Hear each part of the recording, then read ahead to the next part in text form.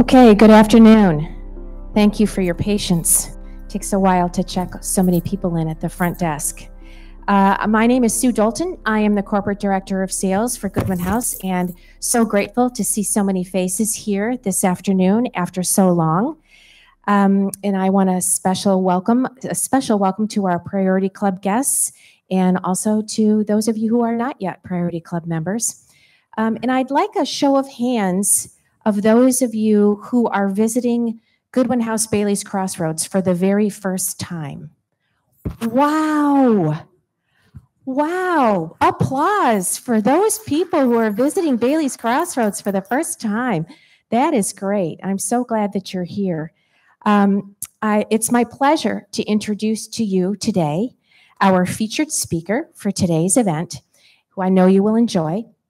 Margit Novack, and that's Margit rhymes with target, right? is an entrepreneur, thought leader, and widely considered founder of the senior move management industry. After decades in the field of aging and senior living, she moved away from her life of work and title. I'm looking forward to that. To another role, that of author, speaker, and champion of a revisioned picture of aging. The title of her book is Squint Revisioning the Second Half of Life. And we're pleased that we have copies of that book for each and every one of you today, if you're interested. We'll be handing those out at the end of our program today. Margit is an expert in downsizing and in the emotional obstacles that make downsizing difficult for all of us. With her unique style and memorable stories, which you'll hear today, Margit will share why success in downsizing doesn't require working hard, but it does require working smart. So please join me in welcoming Margit Novack. Thank you.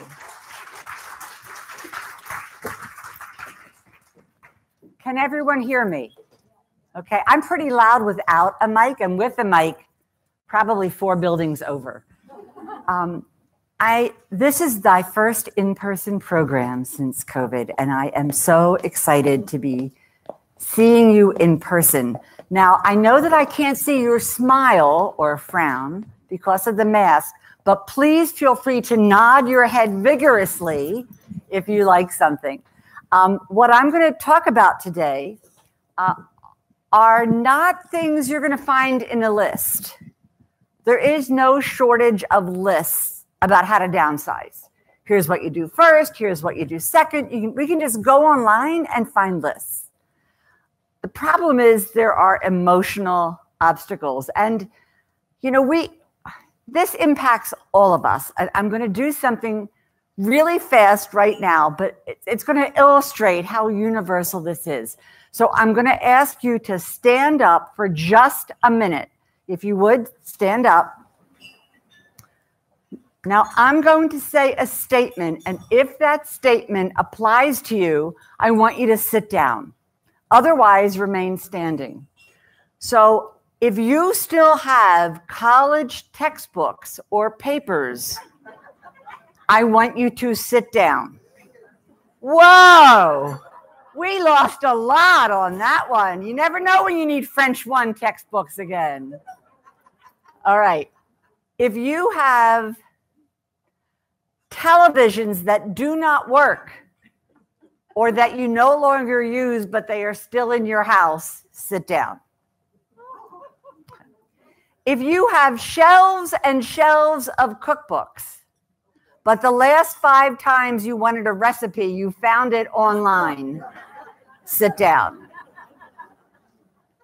If you have enough material to fill a Joann's fabric store, or enough lumber to fill a Home Depot lumber area, I want you to sit down. Now, this last question is a trick question because if it applies to you, I don't want you to sit down. I want you to remain standing. So I want you to remain standing if everything in your closet fits. Congratulations to the people still standing. But you know, whatever it is, we just, you can sit down now. Okay. we all have things, and it is those emotional roadblocks.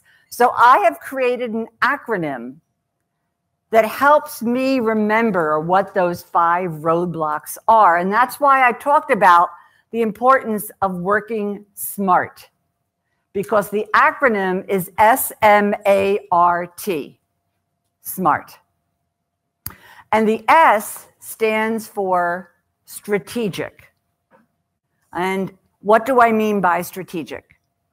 As a move manager, I was asked by clients all the time, what do you think I can do? How much can I get for my mother's china? What can I get for this piece of art?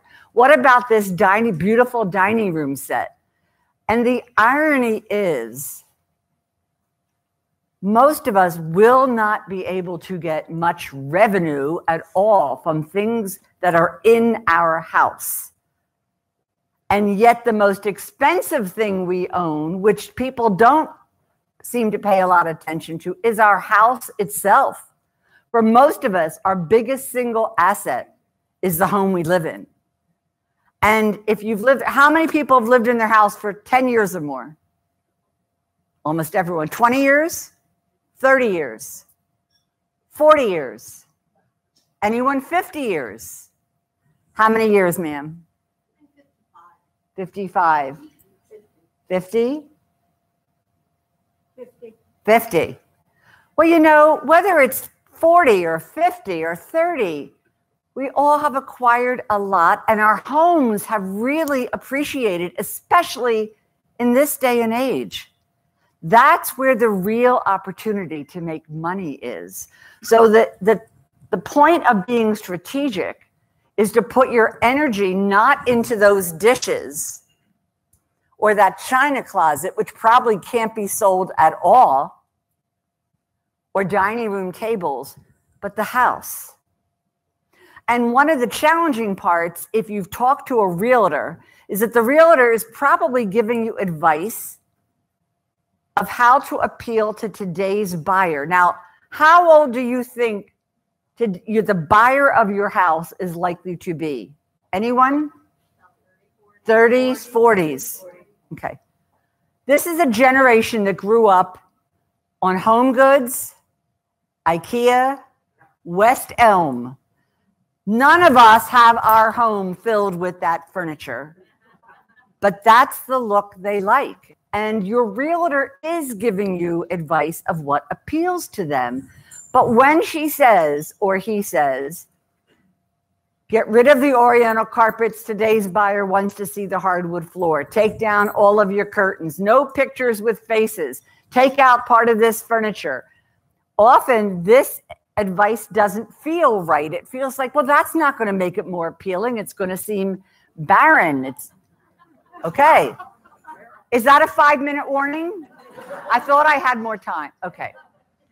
So it's often that advice, it, you know, we talk to the realtor, but it doesn't make us happy to do it. But here's the thing Did anyone here ever sell a car? When you sold your car, when you decided to sell your car, what was the first thing you did? Cleaned it, inside or out? Both. If you had something hanging from the rear view mirror, like an air freshener, what did you do with it? Took it out. If you used a pillow for your back, what did you do with it? Out. You took out everything personal in your car because you knew that the person coming to look at your car wasn't interested in how you used it. They just wanted to look at the car. You were being strategic and it didn't feel emotional. You said to yourself, well, that's how you get the most money when you want to sell your car. But a home feels different from a car. Yet, the same guidelines do apply. It's, it's making the house impersonal it's setting the table for your company, for your buyer. So let's talk about setting the table. Let's say you invited someone to dinner and they were a gluten intolerant vegan. Now, I know you might say you would not invite over a gluten intolerant vegan.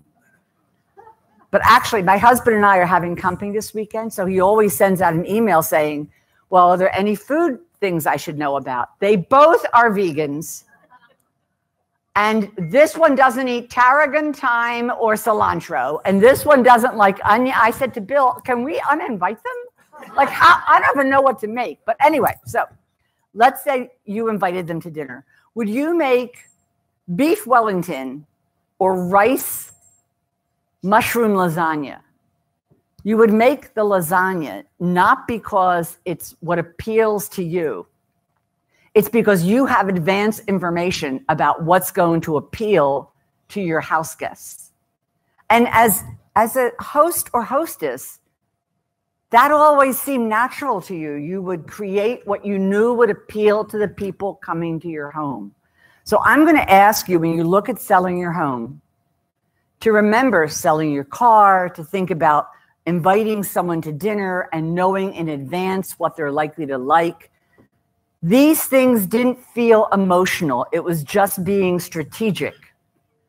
And I'm encouraging you to be strategic with the biggest asset you own your home because this is where an opportunity to make tens and twenties and fifty thousand dollars more ranges. This this is where that opportunity lies. The difference between having a home that is properly prepared to appeal to the likely buyer and one where an owner has said, I'm not making those changes. Let's be smart and be strategic. So that's the S in smart. Now, the M in SMART is about managing our emotions. And by this, I mean managing our expectations if we give something away. I had a client who had a burled mahogany highboy. It was a beautiful, rich burl, but it was tall. And she decided it wasn't the right scale for her new apartment. So she asked her kids if anyone wanted it. And she was delighted when her daughter said, Yes, that will be a great bureau for her granddaughter Megan. So she said, Great. She ships it to her daughter.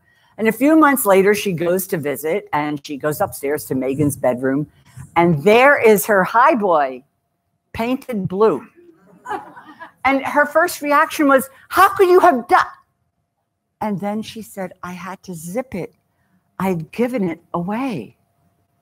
You know, all of us probably inherited things from our parents, aunts, uncles, grandparents. And when we accepted those things, we accepted obligations that went with them on what to do with it. How many people here feel that if their children agree to accept something or their grandchildren, that they will accept obligations. We're the last generation that accepted gifts with strings. Our kids are not going to doubt, they will give it away, donate it, paint it, whatever. And it's really easy to have something you were happy that gave you joy to gift it suddenly become the cause of an argument or resentment that you have to your family with your family member over a thing when that was the last thing you wanted. But it's really easy to gift the thing, but keep a hold of the emotional attachment. My Aunt Betty had been married three times. She had a lot of rings.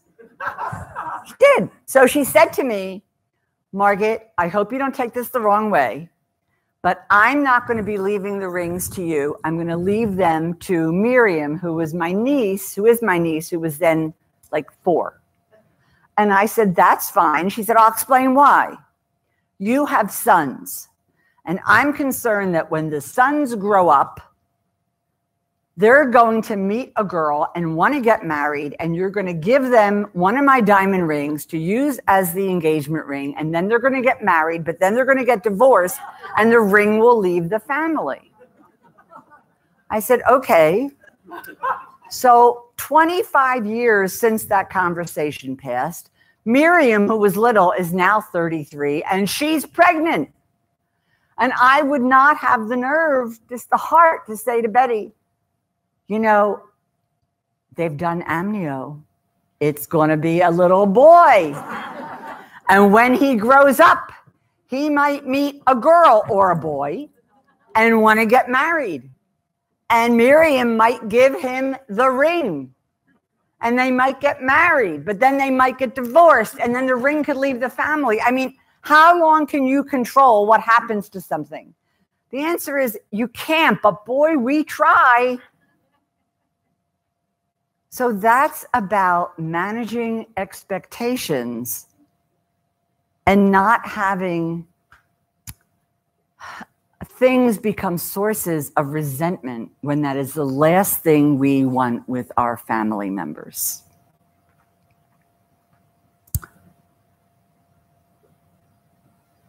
But you can manage.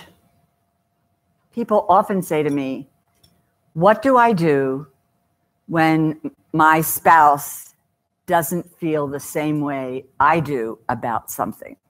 How do I manage, traverse this relationship? Well, when we moved, my husband and I had different ways of handling that.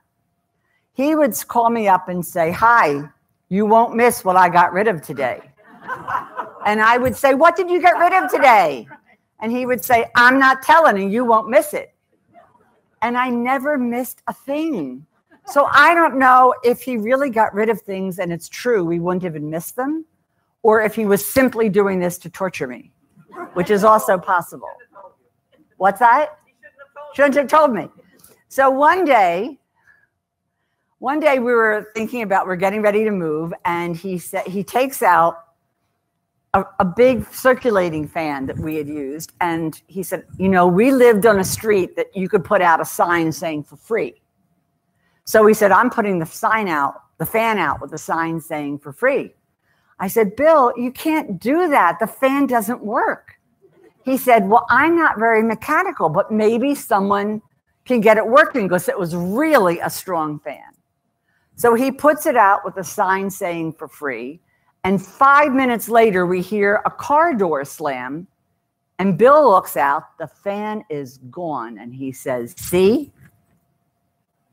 And 10 minutes later, we hear a car door slam and the fan is back. And I said, See? I will tell you a sense of humor as you are doing this goes a long way.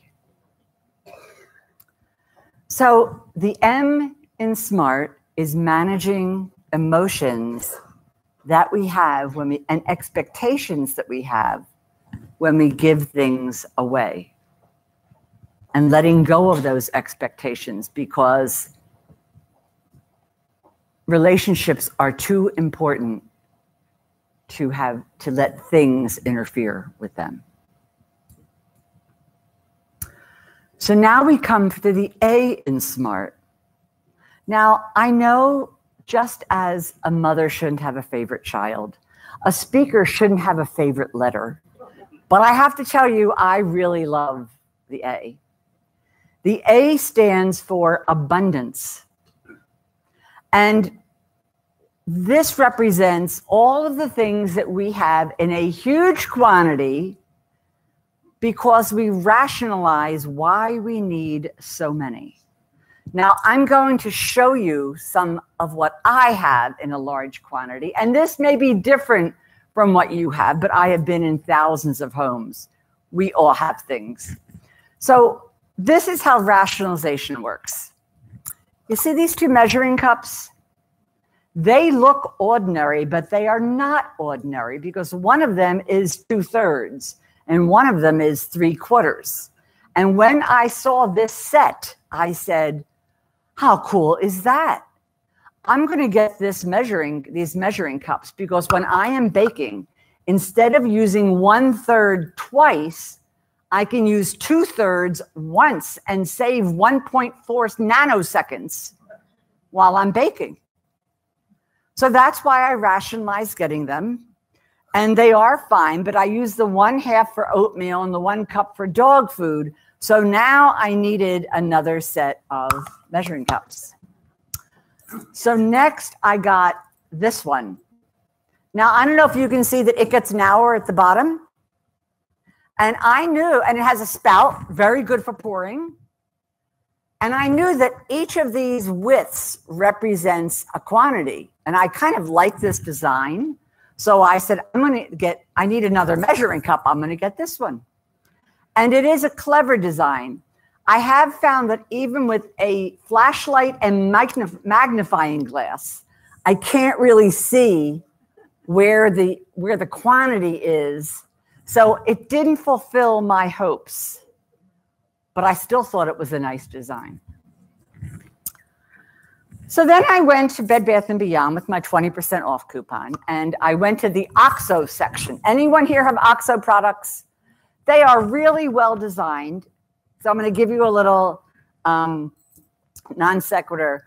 Do you know how OXO got started? I believe it was um, the person who had wherever um, one one of the major uh, pots and pan types uh, of manufacturers, and his wife had really bad arthritis, and she had difficulty using many of the everyday utensils.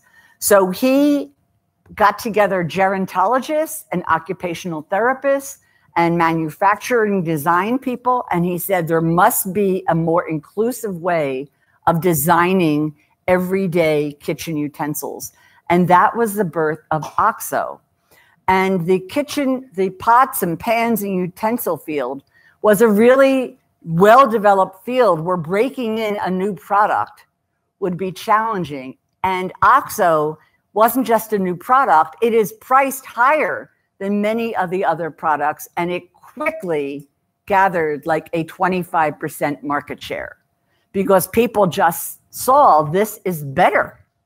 It's better made. It's whatever is easier to use for somebody if they have a challenge is easier to use for, for everyone. So that's the story of OXO. These are OXO cups, and they do have two thirds and it does have three quarters. It comes, they snap together. It came with a hook so I could hang it up. It came with a spatula so I could even out the contents. This set of measuring cups did so many things that it has a user's manual. Who wants a user's manual for their measuring cup? Okay, I still wasn't happy, but so I'm at Home Goods. Anyone here shop at Home Goods? You know how when you're ready to check out, they don't, you don't walk, you don't just walk to the checkout area. You meander through some areas that have a lot of really attractive, colorful things you might decide you need before you exit. Well, that's what I was doing, meandering through on the way to the checkout when I saw these. So these are, first of all, after three black sets, aren't these colorful? They're really cheer cheery. I'm not a scoop person, but look what these measuring cups do. They're also teaspoons. They multitask. So I said, oh, I, I need to get these measuring scoops. Without question, I picked them up, put them in my basket. Unfortunately, right next to them We're measuring plastic, rubber. Look how cute this is. Rubber measuring bowls. Now they're in like milliliters or something. I don't even understand it, but I thought they really looked cute. And does anyone here watch the cooking channel? So do you know how they have everything already pre-measured? And so I had visions that I would be, I would use these not to measure per se, but to have everything pre-made and I would go like this which is an odd vision because I don't cook ever. ever. I burn everything. My husband does the cooking, but that's why I got this set. So I had a lot of measuring cups. Um, and I really, now you can see how I rationalized each one. And I said, I have enough measuring cups. Have you ever had a collection that you had decided was big enough so you no longer were adding to it. But people who know you know that you have this collection. So when they come to visit or travel, they bring you more of it. Anyone have a collection like that? What is your collection of? Bud vases. Bud vases. If you have too many, this is where to bring them. How about anyone else? What's your collection? Ducks. Not everyone has a lot of ducks, but this is where they go. Anyone else with an unusual collection? Yes. Turtle ornaments. You know, you can see the things we collect, whether they're turtles, ducks, bud vases, or measuring cups, don't have to be exotic or expensive. We collect all kinds of things. And so it you can get to a point where you're not going to add anymore, but people bring them to you. I want you to meet Isabel. now, I know you didn't know that measuring cups came with sexes, but Isabel is a little girl. She has a cute little butt over here. She's not sold in stores, only online, and she is a one quarter cup. And she was a gift. And the card said, My name is Isabel. I'm a quarter cup. My brothers are one third, one cup, and one half. Please don't make me an only child. Isabel came with a guilt trip. Now, if you said, you might say to me, okay, you rationalize why you have all of these. Which one do you really use? Well, that's easy. I use the $1 set from the dollar store and a two cup Pyrex. That's what I end up using. So you might say, well, we get it. I get we get how we all rationalize and end up with lots of certain things, and then they become a problem, how to get rid of them. Um, what is the antidote? And I think the antidote is something I call smart self talk. Smart self talk. Smart self talk is asking yourself a question that can be answered with yes, with one word. The one word is either yes or no or a number. So, for example, if I were downsizing and said, when I moved to Goodwin House, when I move to Goodwin House, can I do all of my measuring with this set and a Pyrex? And the answer would be yes. I won't ask myself, which do I like? We've seen how I will answer that question. I will have a reason for liking all of them. And whether it's measuring cups or sink frying pans. Oh, this is macaroni and cheese. Like we have these single purpose dishes. And this frying pan is for eggs. But, and uh, gentlemen, do not think this is only about women or only about kitchens. I have been to basements that have Maxim jars arranged, or all kinds of jars with screws sorted and bolts. I mean, you know, Lowe's tool section isn't as well equipped as some basements I've seen. And we, had, we just all have things that we've kept acquiring and acquiring. So smart self-talk is a good tool. Um, I, for example, when I was going through my t-shirt drawer, and I'm not talking about like Chico's t-shirts. I'm talking about work in the garden, go to the gym, grunge t-shirts.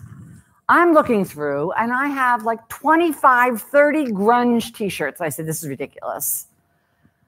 So I didn't say which do I like because we know I would I would rationalize. Oh, I like this one's really soft. This one is from a charity walk. I remember this one. I said, how many do I need? I picked a number. 12. 12 grunge t-shirts is enough. So I kept culling until I got to 12. And you giving myself a numeric goal made me keep at it and, ju- and just not which is soft, which do I like more. Um, I had a really big wake up call when uh, during COVID, when my husband and I took our boxes of photos. He said, What a perfect COVID activity. We had four boxes of albums. He said, Let's sort through and we're going to um, pick out the photos we like. And I take out a photo, and there is me with our then eight year old, I guess she was seven or eight year old daughter. And I look you know, whenever you look at a picture, you look at her young, you look at yourself young. I looked at the t shirt I was wearing and I said, Oh my God, I still have that t shirt. She's 43. You know, I knew it was old. I didn't realize it was almost four decades. But you get to a certain age, you just keep things in your closet. It's very soft now, I, I promise you. We don't even realize how long we've kept things.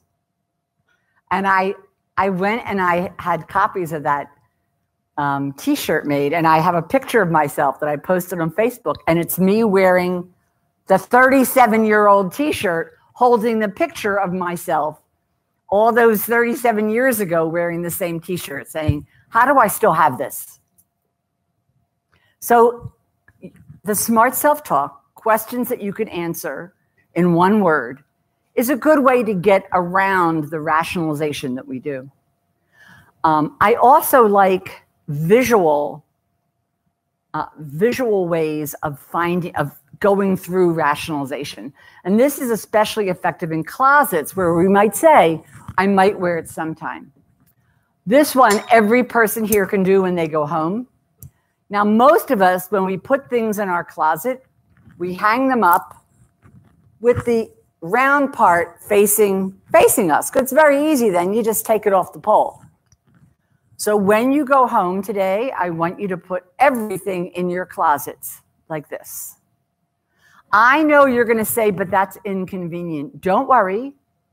The first time you wear this item and go to hang it back up, hang it the way you like. What do you think you will find out six months from now? Everything with that point still facing out, you do not wear. It's really a visual way, it's a really visual way of proving to yourself, do I ever wear that? And it's very, very easy to do. So you can see why A was like is one of my favorite letters in SMART. That's the A in SMART, abundance. Now we come to the R in SMART, which is for remembering. And what I'm talking about remembering are the things that we have not not the things we've acquired because we purchased them, the things that we have acquired because they came from a family member, especially someone who's no longer alive. So I want to tell you the story of my mother's cake plate. My mom passed away when I was 27. My dad had died when I was eight, so I was a young orphan. And I inherited many of my mom's things, especially kitchen type items. And one of my favorite was a glass cake plate. It wasn't cut glass or etched glass, it wasn't fancy, but she had used it often so it became my go to cake plate as well.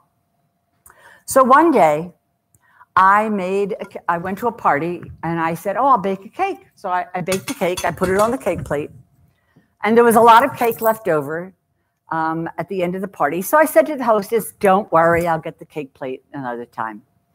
And the next day, I get a phone call Hi, Margaret.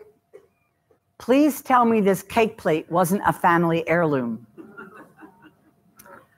I said, Well, it belonged to my mom, who's dead, and it's one of my favorite things. Dead silence on the phone. And then I said, But my mom is in my, my mom is in my heart and my mind, not in a cake plate. Well, what was I going to say? It was pretty clear the cake plate was kaput.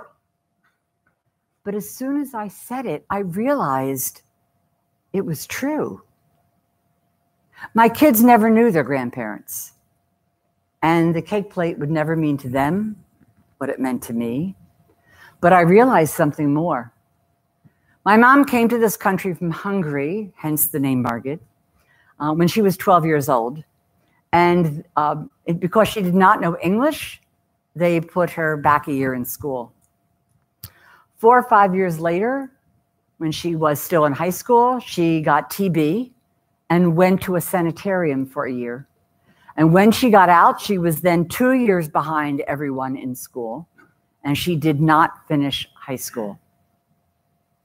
Now, I grew up knowing that I would go to college, but I also knew how much it bothered my mom that she did not have an education.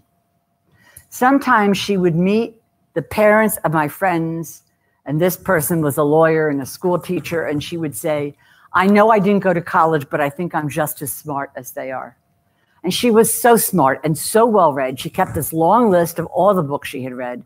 And we loved to talk about books together. So if I read How Green Was My Valley, she got a copy and read How Green Was My Valley. When I read Le Petit Prince in French, she read it in English.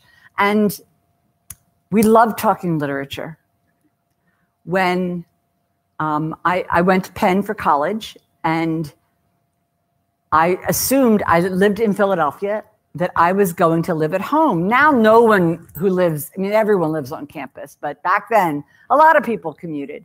And right before school started, we got a letter saying they would pay for my room and board. I had a, I had a scholarship for tuition, but they were willing to pay for room and board too. And my husband said, I think you should live on campus. And I said, You want me to not live at home? And she said, I didn't raise you to keep you here. This is a wonderful opportunity. When I said my mom is in my heart and my mind, what I realized is that if I want my children to know who their grandmother was, they're not going to learn it from a cake plate. They're going to learn it from stories I tell of my reading books with her, of her saying to me, Go, go abroad, take advantage of this, do things. That I was safeguarding the wrong thing. And my obligation to my kids wasn't to protect, and to my mother, wasn't to protect her belongings. It was to pass on stories about her. And I had not done a good enough job. Now, I know we all have things that came from other people in our families. And when we go to downsize, they feel like their own kind of special burden because it feels like I can't part with these or what do I do with these? And I can only tell you that for me, I realized that I need to pass on the story, not the belongings. And shortly after that, I was able to look at my mother's set of Rosenthal china, which had been her pride and joy, which you can't put in the microwave because it has a silver, a, gold trim. You can't put it in the dishwasher because it's got a floral print that washes off. And I had safeguarded it for decades. I kept it carefully packed in my basement. And I said, That's not honoring my mom keeping something packed in the basement isn't honoring her. And I found a, a, thrift store that supported a charity that I knew would resonate, whose purpose I knew would resonate with her. And I donated those dishes and felt that's honoring her more than keeping something for decades in the basement. So I, I, I hope that you think about this kind, these kinds of stories when, and these issues of how do you honor someone? How do, one, passing on the story, and also what truly honors them? Is it the belongings that they that they purchased or that they had in their house, or is it passing on those stories about them? Maybe we need to do more about that. And there is a thing about stories. Often my husband and I have told stories to our kids, and yes, we have seen them at times roll their eyes like, oh God, not this again. And you know, we've said to them, you're not getting it. We're not just telling the story because we think you haven't heard it. We're telling the story because it makes us feel good every time we tell it. Kids think that the story is for them, and, and often it is. But a great story brings joy every time you tell it. You think about the memories, the person. So that's another thing to think about when you tell the stories the satisfaction you get from telling them. So if your kids give you a face like I've heard it before, just tell them, I was at his program and she said, I can tell this story as many times as I want. It's no, it's not that you don't remember you told it, it's that you feel good every time you tell it. And that is the R in smart.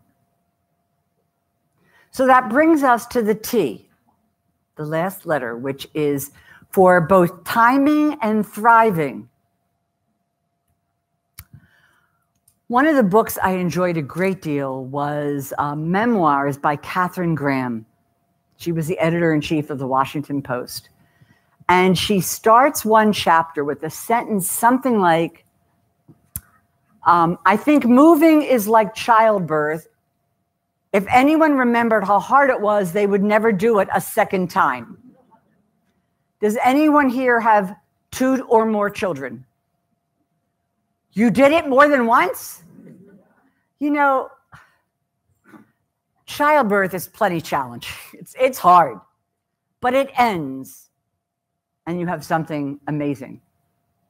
Moving is challenging, but it also ends and what you have when you arrive at Goodwin House is a really amazing life where you will thrive. You know, we didn't say to our children, oh, honey, don't do it if it's hard.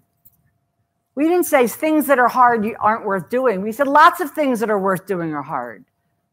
Moving to a place where you have connection and, and, and stimulation and new experiences that's how you thrive. We've all read the articles. Every other day, there's a new article on Next Avenue. Here's what you have to do to thrive you have to have exercise and social connections and good nutrition and stimulation, all the things you have living in community. So, yes, I know moving is a challenge. I was a move manager for 25 years. But just because something is hard doesn't mean it's not worth doing being where you will thrive is worth doing. And the timing to do that is now. People often say, well, maybe in three years, maybe in five years. It's a wonderful real estate market. And the time to move is when things are really good. People often say, why would I move? Things are great. You don't want to move in the middle of uh, a disaster. My husband and I bought a shore home. Um, it was a dream come true. And he said, uh, Where can I don't want to own two homes? Where can we rent with three dogs? And I said, Nowhere. You can't rent nowhere where we want to live. And he wanted to, to rent close by. So he said, Well, let's we're going to move to a senior living community. Um, now, I knew all the senior living communities. I moved thousands of people into them. I had him go visit them. And he, he said, This is the one where we fit. He picked one out. This is in Philadelphia area. Our kids are. And um, we, we were both working full time. We were moving under the best of circumstances. So in December, our move is planned for February. And in December, Bill has a planned hip replacement. And then he goes down, we go down the shore to the shore home. And two days later, he has a massive heart attack. And we truly didn't know if he was going to live. I'm asking myself, am I still going to move to the community if Bill passes away? I mean, I was, it was really touch and go. Fast forward, he's fine. But we went from moving under the best of circumstances to moving under the worst of circumstances in a literal heartbeat. His surgery was in the end of January. They they tweaked him um, and made sure all of his uh, organs were exactly where they wanted him. He had a fabulous result, but he was uh, in, in the hospital moving into rehab when our right when we were scheduled to move. And I did want to move because I said to the marketing director, I have three dogs, a husband with a walker because of his hip and oxygen because of his heart. How can I bring them home and sell the house?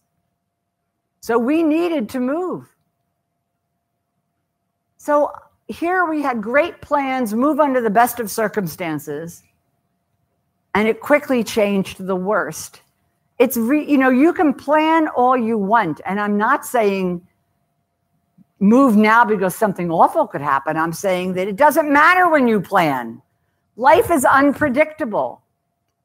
But for sure, plan to do it. Don't plan to do it when you need to move because you're then already planning to do it under a time of a lot of stress. Plan to do it when you're both doing well, if you are part of a two person household. If it's just you, plan to do it when you are doing well, because life certainly can intervene in between. So that is the T part of SMART. It's about timing. Don't wait for something to be perfect. Um, there is no perfect time to move. It is about moving where you will thrive and not being afraid of doing something that is hard because we all said to our kids, it doesn't matter if it's hard. Lots of things that are worth doing are hard, but they're worth doing. Being where you will thrive is worth doing. So that concludes this portion of the program, which is the time when I do a lot of the talking.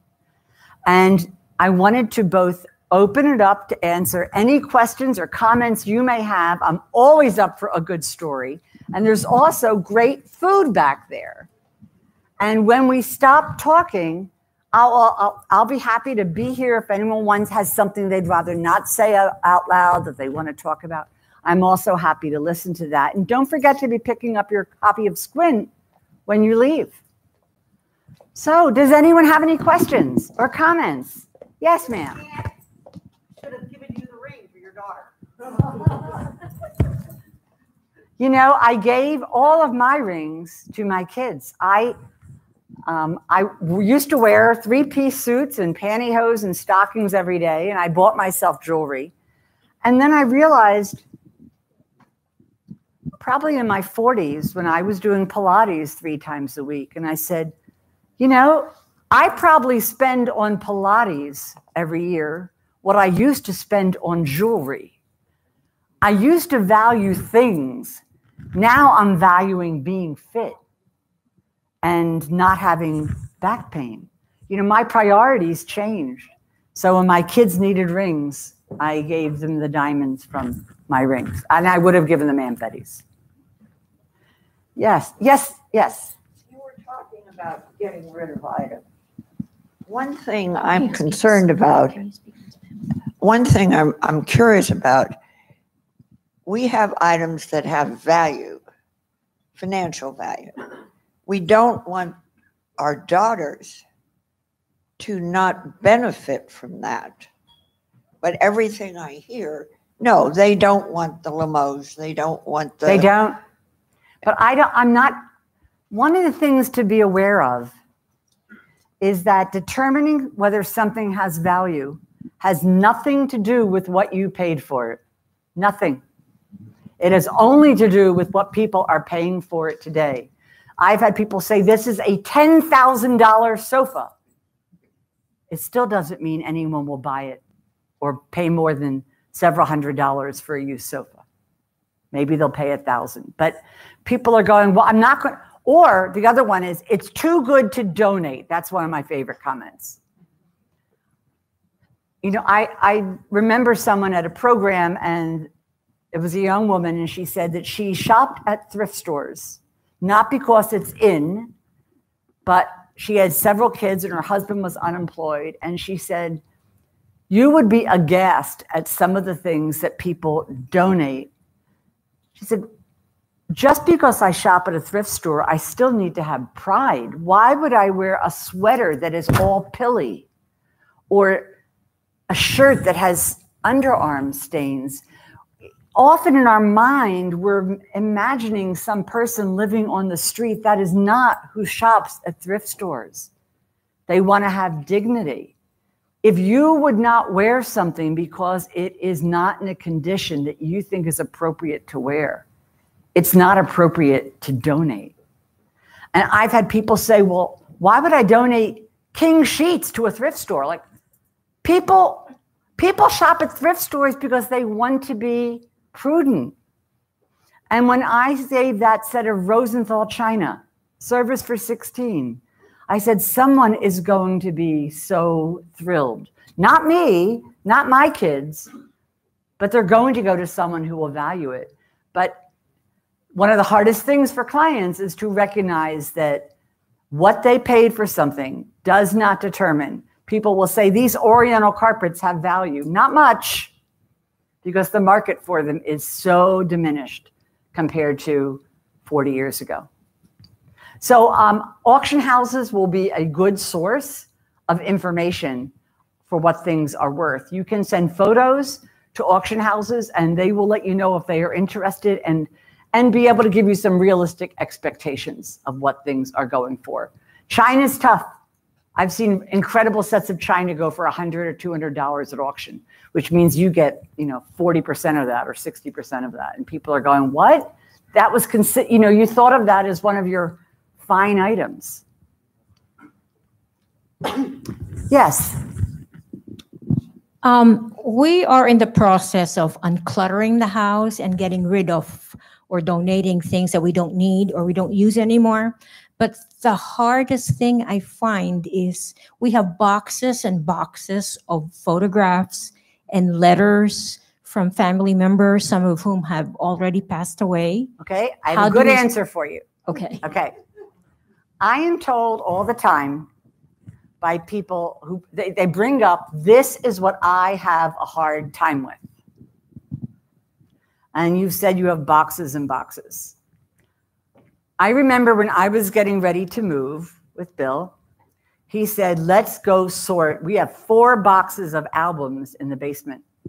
Let's go sort them. And I said, No, I'm not doing that.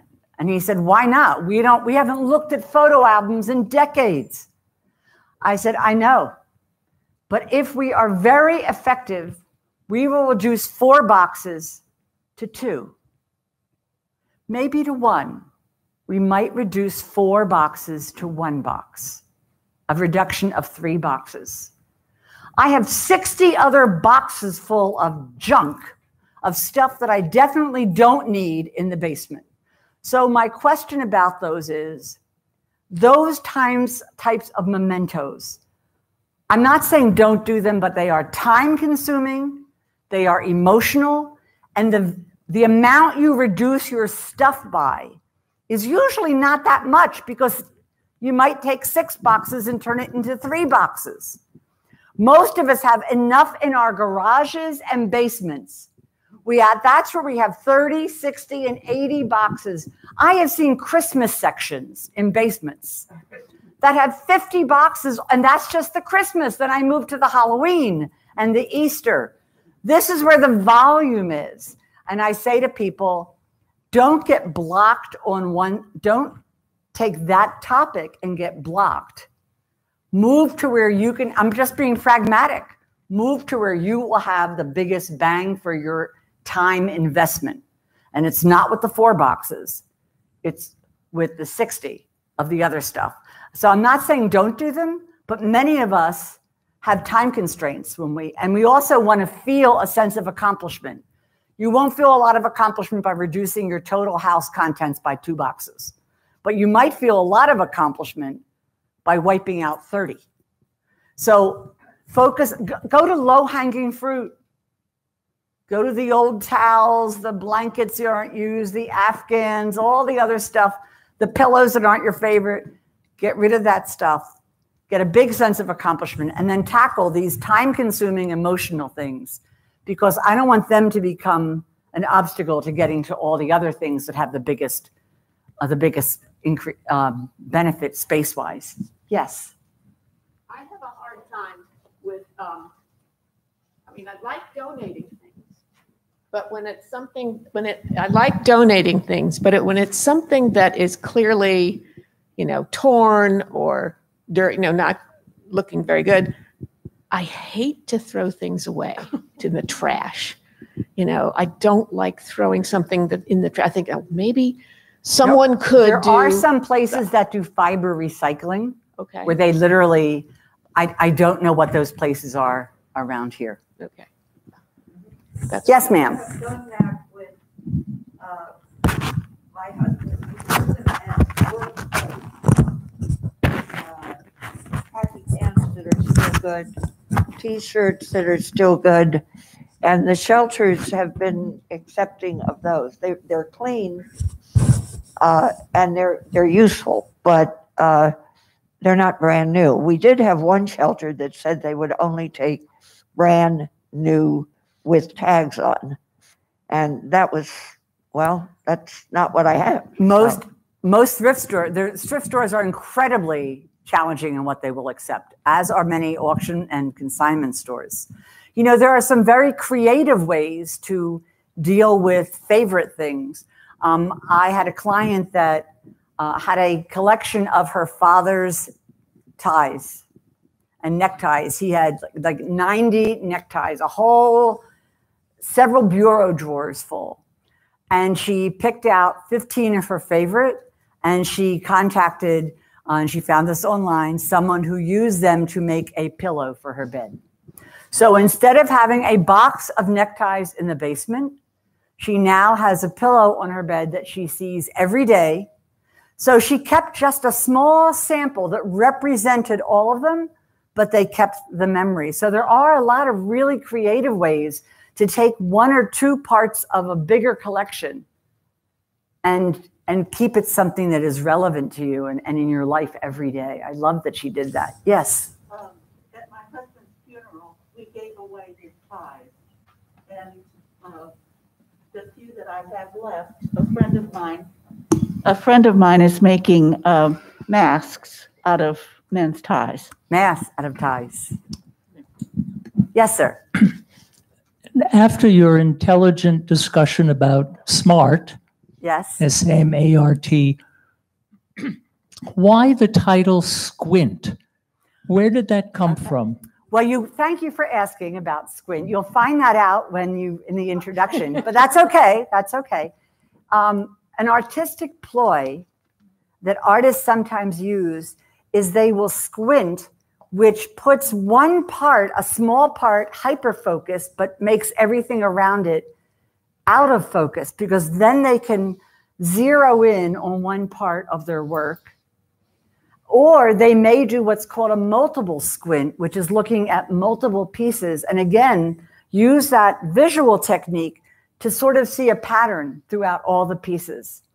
And in a way, that's what I did as I looked back at my life and told a lot of stories. I was focusing on different memories and parts of my life by my own type of, of squinting. Thank you. Great question. He wasn't even a plant. I love that. yes. I have a question about photographs. Um, I know this person over here was talking about how difficult it is. Um, I've been going through a lot of my old photographs and digitizing them, hoping, and then I want to put them on like those little photo sticks or Yep. thumb drives Yep. or something, and then sending them to all my relatives. Is that something they would be interested in? So, so the question is, will relatives be interested in receiving a digital format of special photographs? I will tell you, my husband and I have selected the ones that we want to have digitized. Like we go to a bar mitzvah, we don't care what the table setting looked like or the centerpiece. It, it's much more about people. Um, we're not doing it for our kids what we realized is we had so much fun going through and remembering and we would say look at us look at bubby look at look at our kids we haven't looked at those photos in decades and by digitizing them and putting them on our screen on a photo frame we're bringing them back into our life to enjoy and by bringing them in your home If you send them to your kids, you don't know what will happen. If you have them on a photo frame at your house and you have grandchildren who come to visit, they will look and say, Is that you? They can't believe we ever look different. They can't. And then it starts wonderful conversations. So you can't control what your kids will do with the with the photos you send them, but bring them back into your life. And there is a good chance when people visit you, since we're having company again, that those photos, not only will they give you joy, they can be the source of wonderful storytelling and wonderful conversations with other members of the family. So that's what we plan to do. We haven't done it yet, but we have them in baggies, sorted by topic.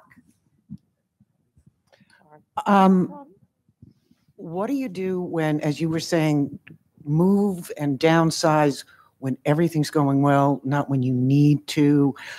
Um, I am in a very big house that's got wonderful storage space. That's that's. I'm sorry. I, I, yeah, you understand. I mean, in like That that's a hard like thing. you just said, and I'm only the I'm only the one there. You said something about, and I wrote it down: linens and towels.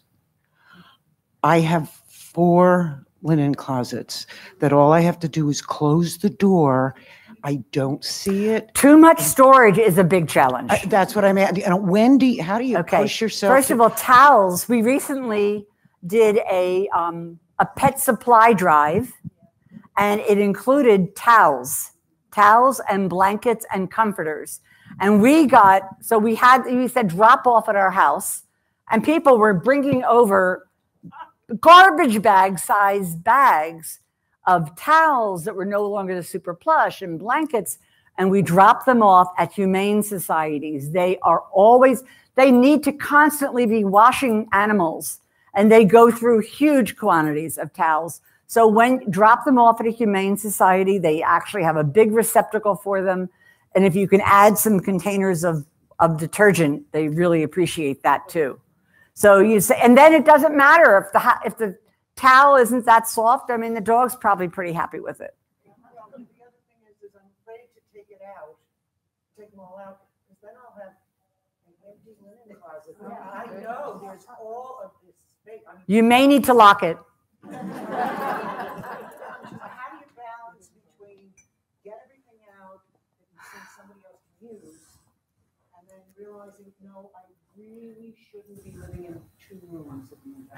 But the thing is, most of us do live in two or three rooms.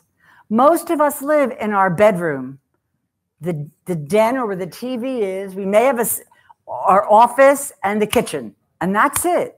So when you look at a you look at an apartment and you think, but what about the? We all have all these extra rooms that we don't use, or that we have one little thing we do in that room. Most of us spend 95% of our time. If you put crepe paper in front of the doors of many of the rooms in your house, six months from now, you'll find the crepe paper is still there. Um, I also recommend that you work with move managers. Sorting through is so much more fun when you do it with someone. It really is, and you, you're more effective. You know, I, um, how much time do we have, by the way? You have plenty of time. You can keep talking. When COVID started, I said, Well, I need to get exercise. I'm not going to go to the gym. And there's plenty of YouTube videos I can watch. And there are. And there's plenty of YouTube videos that are geared toward people my age. I could not get any traction. I was not doing it. And I decided, I met someone, I, and she said she was part of a Zoom cohort where there were four screens, and together they paid for a personal trainer who customized things. And I went to it and I really liked it. First of all, when you watch a video, everyone's smiling. None of us smiles. We groan, we grunt. When we go like this, our skin hangs down. I mean, everyone looks the same. We're laughing. It provided for me, I both enjoy it more. It provided accountability that keeps me going to it. It provides connection. It's convenient. So you might say, so I'm paying for something that actually I could do for free on YouTube, but I won't do it for free on YouTube. I do it when I have this accountability and connection. And I think using a move manager can be a lot like that. Yes, you can get a book on how to downsize, and that may work fine for some people, but for many of us, we need the accountability, we need the connection. And you might say, well, then I have to pay for it. What a good investment. I'm investing in my physical well-being by by using the uh, the Zoom personal trainer, and you're investing in your own mental, emotional well-being by using a professional that's going to help you accomplish your goals. They will also have a lot of information about local resources for donating things, giving away things, and selling things. So they're going to help in both help you accomplish your goals and they'll have resources for you. Yes, sir. Thank you. I have a question about papers. Papers that I've written myself while I was in my master's program, papers I've written for work, uh, all kinds of papers, hundreds. And I find it very hard to throw them, to burn them. That, you know, because it is part of my who I am. it's part of who you are. and so that's really hard. I That think. so he's finding it hard to look at the papers, things that he is. They represent his professional accomplishments. Um, there are a couple ideas. One, you could scan them, pretty have all of them scanned, and then you have them forever. I did look at papers that I had from college, and what was surprising to me, aside from remembering how, oh my God, he had to get put it in the typewriter and. Um, I thought I was a good writer. I, I mean, I love writing. I love the craft of writing. And I thought I was a good writer in college. I looked at the length of some of my sentences. Oh my God. And I didn't have any subheadings and I just went on and on. But um, I would scan them. Um, I also will tell you that I was a French major in college. I spoke fluent French. I was pursued by the time I was done my undergrad work, I had had most of my master's finished.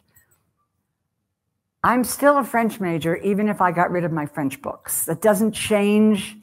I don't need those books to be who I am. Not having them doesn't change that period of my life.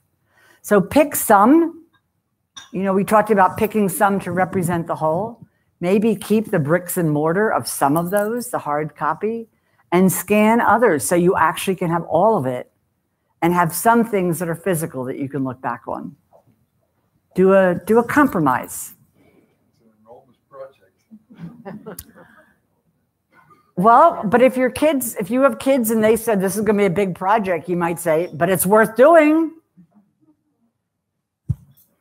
And Just someone couple- can help you make that an easier project. There'll be people who will say, I have resources for that, and it can be easier. Yes, ma'am. Yeah, I, I donated a lot of them to my husband's previous archivist who wanted those papers. And they, you know, they, I, and to the, I sent them all over the world actually because of his work. So if you know that your previous company that you work for has an, has an archive that, that would be valuable to them because of the new employees need experience reading what somebody else has done, that's another source. Thank you. Just a couple more questions, Margit. Okay.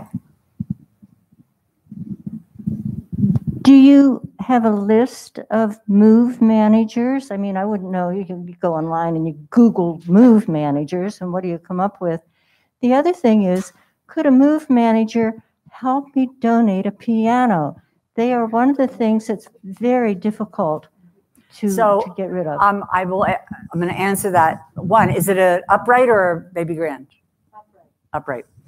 Um, senior move managers or move, uh, move- senior move and specialty move managers um, are an industry that didn't exist 30 years ago. I probably was one of the first in the country, and I was part of the group that got together and said, "What are we going to call ourselves?" And we focused on helping people make the transition from a family home to smaller quarters. Um, we actually formed a national association. I was its first president, and now there are thousands of members. And if you go online and you look at your geographic area, you can find resources. I think it's really likely that the Goodwin House already works with a number of local move managers, We do. and they may be able to provide you with contact information for them. So these are proven resources. If you have a baby grand and you want to have fun, Google baby grand bookcase, and you will see a beautiful example of upcycling. Beautiful example of upcycling. Move managers are likely to have some ideas about uprights, but it's tough because lots of people are wanting to part with them. But they they will they will have some suggestions for you. Margit, we do have a couple of move managers who are business partners that work with us at Goodwin House. And so if you'd like to talk to any of us after the presentation, we'd be happy to give you more details about who we work with. And a lot of our residents use a move manager when they're planning their move to the communities. the the ideas, the stories, the wisdom that I have from that I've shared with you. Yes, a lot of these are personal stories, but much of this came from my 25 years as a senior move manager. Um, I'm no longer doing that. I'm in another chapter, but I absolutely recommend working with someone. It just makes the whole experience so much easier. Yes. Is there anything different about getting rid of hobbies that you may have backed away from, but you still have? Usually, so the question is about getting rid of hobbies. Um, in my experience, there are often other hobbyists that are happy to take the things you want to part with. I mean, I have seen quilters where I go and they have they have in their retirement community they have custom designed a wall of a second bedroom to hold all of their quilt samples and all kinds of different hobbies. But Okay, if, this your, is- if your home is sort of like Michael's or AC Moore, we, we can talk. This is our last question. Like the Hummel collection, or we have other things, but that's the one I think of that most people. What do you do with your collection? You can um, take photographs of the bottom, which will tell how old they are, and you'll be able to go online and find out how old they are, how much they're worth. Many of them will be worth ten and twenty dollars. Things are worth money when they are scarce, and there is not a scarcity of Hummels compared to the people that want them. Um, one, uh, food here. I also want you to take advantage and talk to people who are here today. One of the wonderful things of living in a community, people that you are with every day, the people that you have dinner with every day. This is one of the things that creates richness in your life. So start a conversation with someone that you don't know because that's truly what becomes your life when you move to a community. Uh, I want to thank you very, very much. I will be here if there's anyone who wants to, to talk about anything else. Thank you, Margit. Sure that everybody got a lot out of Margit's presentation today. Uh, I want to, before we break for refreshments, I do want to introduce you to a few more people. I want you to meet the members of the Goodwin House sales team. And so if you all could just stand and wave when I call your name. So Maeve Milligan is one of our sales counselors in the back of the room. Next to her is Darlene Lamer, also a sales counselor. Faith Hall is our sales and marketing coordinator and put together a lot of the details for today's event and did a wonderful job. Terry Gross is a sales counselor.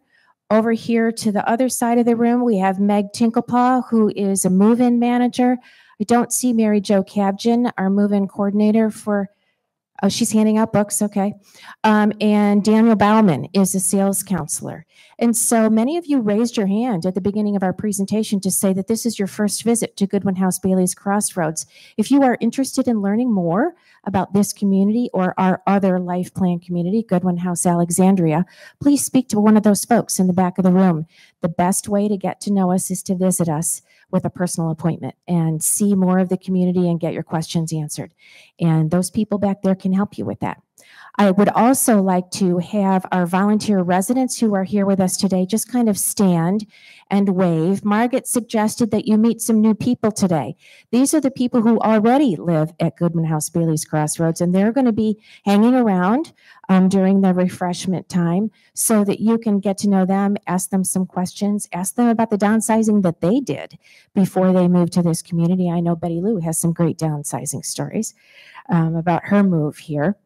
I also want to let you know that this presentation from Margit is uh, series one of two series. So this is her first presentation. Her second one is going to be held at Goodwin House Alexandria, our other life plan community, on June the 7th. If you have received an invitation for this event, you will also receive an invitation for that one. Um, so we, we hope new stories, same speaker, new stories. Um, so um, we hope you'll have an opportunity to attend that. Um, and um, that's really it. We do have refreshments. You may have enjoyed them already, but please enjoy them again. Take an opportunity to speak to our sales team and also to our resident volunteers. And thank you very, very much for coming today.